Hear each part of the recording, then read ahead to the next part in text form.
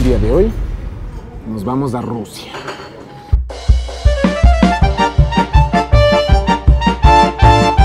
Este es un reto que me espera ni en bus. El viaje que nos espera es un viaje de 24 horas aproximadamente. Esta clase de viajes, pues siempre aprovechen muchísimo a comer, a comer todo lo que puedan en su, su país. Comida en el aeropuerto muchas veces sabe ser bien mala, eh, la comida de avión sabe ser bien mala también. En viajes así de largos, aprovechen a comer.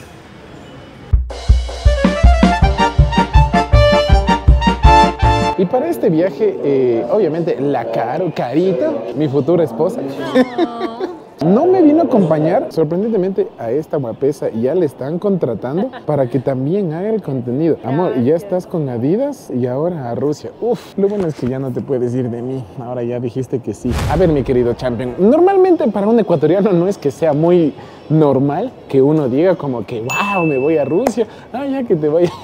Realmente es una locura pensar todo esto, más que todo por la complicación que existe. La primera pregunta es, ¿no están en conflictos? ¿O si será seguro y todo eso? Pero yo me he puesto a pensar, Rusia es uno de los países más grandes del mundo. No creo que toda Rusia esté, esté en ¡Ay! En conflicto. Sinceramente no sabemos qué complicaciones haya para llegar a ese país. Justamente por eso estamos grabando este video, para mostrarles a ustedes el paso a paso de cómo llegamos. Lo primero que tienen que saber es que Rusia no, necesita visa. Entonces, por esa razón, Bien, la otra cosa que nos causa intriga es con respecto a la comida. Lo único que sé de Rusia sí es el vodka.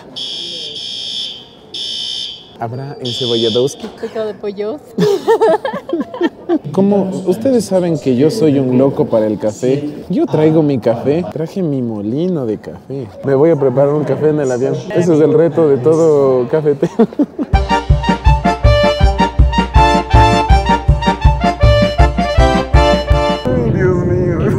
Primera vez que me da es ese miedo que tú dices, hijo de puta, ¿qué es esto?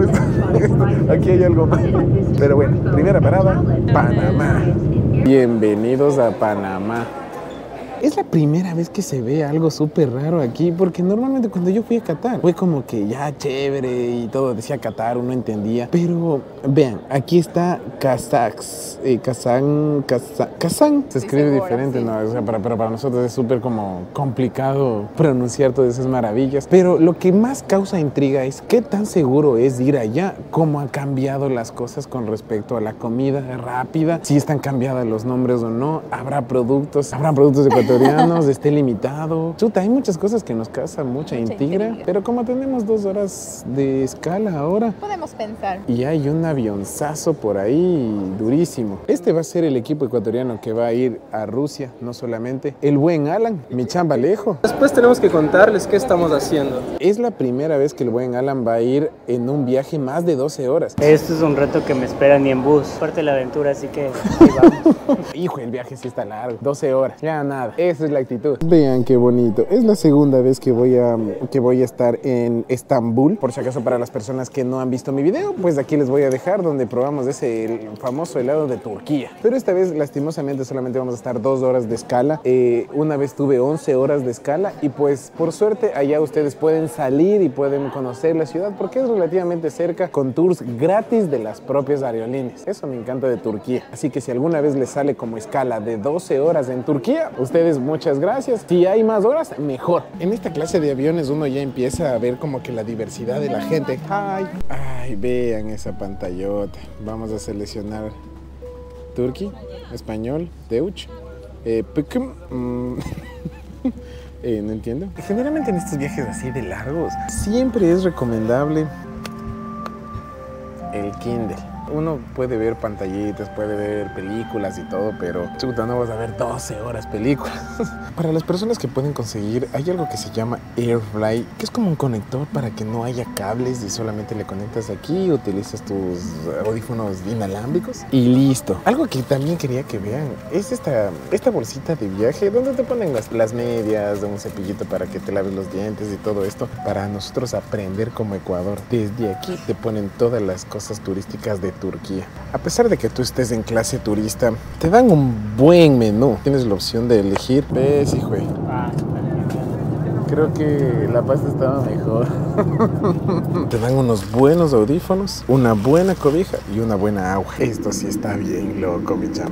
La camarita esta está maravilla. Ustedes van a poder ver cómo se eleva el avión en vivo.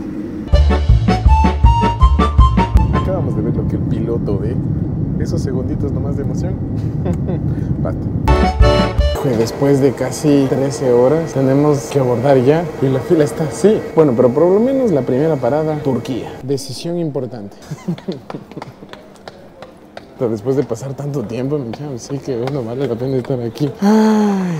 Y ahora, primera parada, el aeropuerto de Turquía. Lástima que la Carito no va a poder conocer más allá, porque si es bonito este país. Nos toca correr porque a 40 minutos estamos de que cierren el vuelo. Aquí este aeropuerto es gigantesco. Lástima que la Carito no va a poder visitarlo. Si se requiere tiempo. Aquí nos faltan una media horita antes que ya nos dejen. Sí, es bastante grande. Y ahora sí viene lo duro porque no sabemos si, si sea fácil realmente ingresar. No sabemos si sea complicado. Creo que por suerte este aeropuerto normalmente no tiene complicaciones con viajes a Rusia yo pensando que no va a haber gente viajando a Rusia, toda esa gente que ustedes ven allá va a viajar a Rusia. Mm, pero aquí ya me causa mucha intriga porque aquí normalmente en Turquía sí hablan inglés, pero no sé si en Rusia hablarán inglés por el tema de conflictos, no sé cómo comunicarme, no sé sinceramente cómo pedir comida. Son bien interesantes. Uno de los tips así como de viajero, viajero, en esta clase de viajes de 24 horas, uno no piensa en ducharse, en cambiarse, lleven su desodorante porque después uno empieza a oler a compañerismo o a colegial después de pegarse un cevichocho.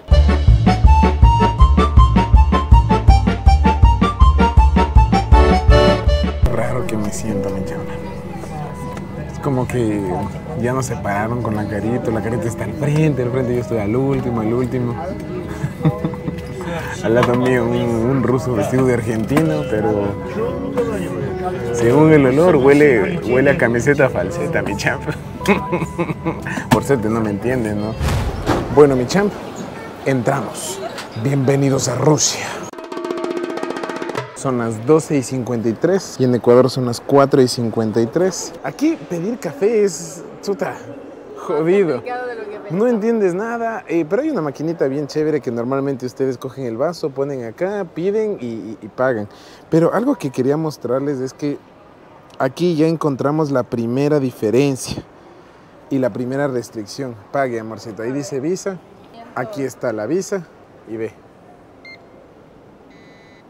No, negado, mi champ, porque no puedes pagar porque todo está restringido. Pero bueno, puede pedir café, no, se, no podemos conectarnos a internet, no sabemos cómo pedir, tenemos solo 20 dólares, no sirven las tarjetas, ya. Nunca me ha pasado esto, pero ah, bueno, por suerte estoy contigo. Si estuviera solito, estuviera ya desesperado. Sí, yo también. Si estoy contigo, nada me faltará. Ay, qué, qué cool. Nos vemos en el siguiente video.